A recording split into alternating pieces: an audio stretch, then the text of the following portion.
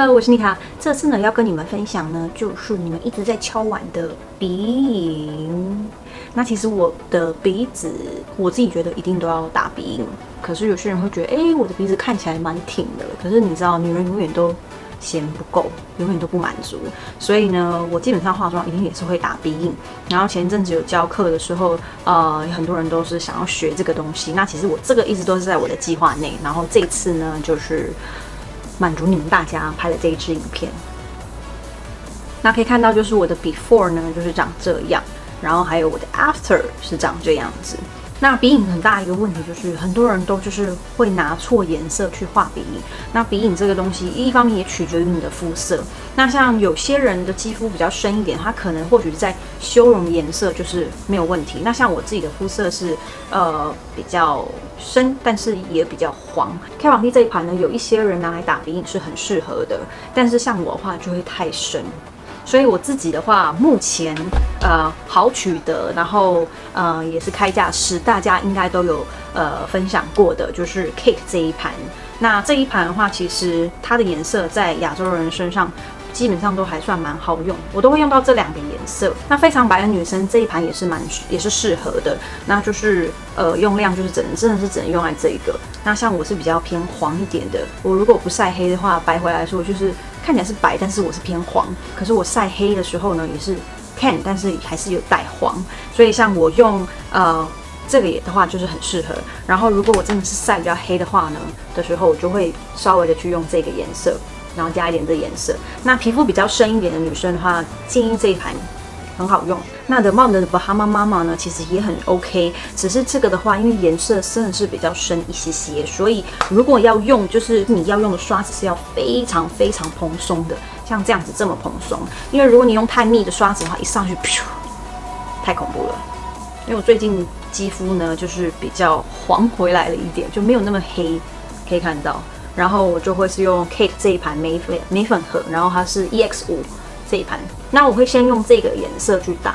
很多人其实不会下手鼻影的位置，那鼻影位置其实就是一般人都有鼻两三根，只是凸跟不凸的问题。你这样转动的时候，其实你会看得到有一点点的阴影。那那个就是你要画眉呃画鼻影的位置。那再来就是你可能眉毛画完之后，然后你就可以去对下来，其基本上会是跟你的眉毛的眉头是。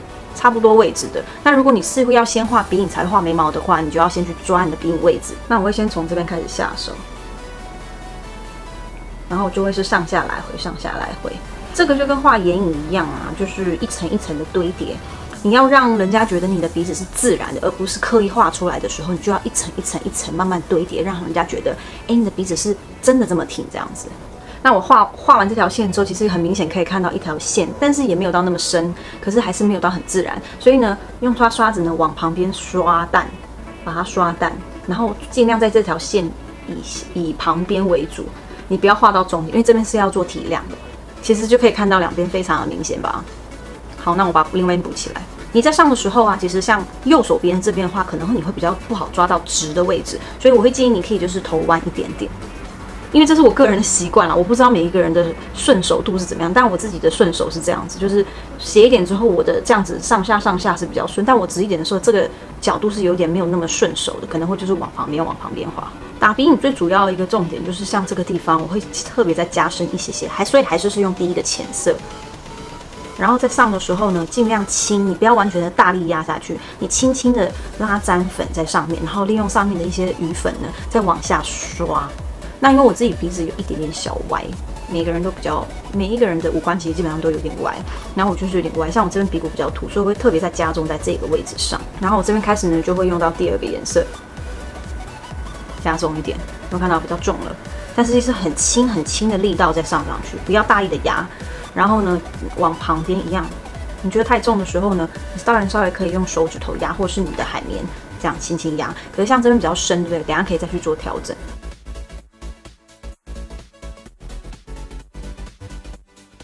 像我有遇到一个问题，就是有些人因为他是戴眼镜戴习惯，他戴隐形眼镜的时候，这边都会有一个鼻垫的影子。我以前近视的时候也有这样子，那这怎么办？先把全部的底做好之后，你再去修整调整一下这个这个地方。其实基本上你可以看到我这样画完之后，其实都算蛮自然的吧。然后我自己有时候会很不够，我会用呃第一个浅色，然后第二个等于说在这两条界线稍微这样子打圈，因为我自己的鼻子是。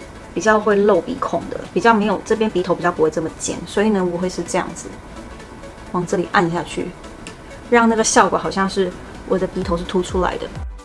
这个呢，就是看个人自己斟酌决定要不要画，但是我自己的话会画，然后完了之后会把残粉呢往旁边刷一点点，这样子，因为我想要鼻头尖，所以我这边基本上都不会碰到，我只会碰到这里，然后往里面一点点刷，好，然后再往旁边。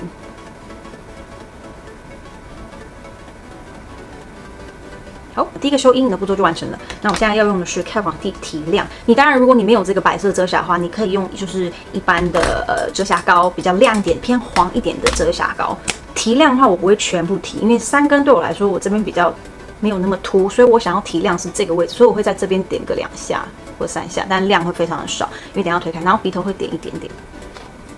很美吧？嗯，然后呢，像这边我就会习惯用手指头，然后我先点完之后，因为这边量用的太多了，就把它推掉。然后现在再换中指，一样也太多了，再把它擦掉，因为它推到非常的薄，然后往上面推一些些，这样子有没有？鼻头就整个出来了。然后像这边的话，就会轻轻的往下刷一点点，所以其实它会有点像是静态好的感觉，就是这样。